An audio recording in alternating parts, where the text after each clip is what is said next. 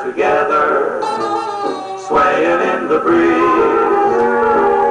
And we'll be listening to a bluebird sing out.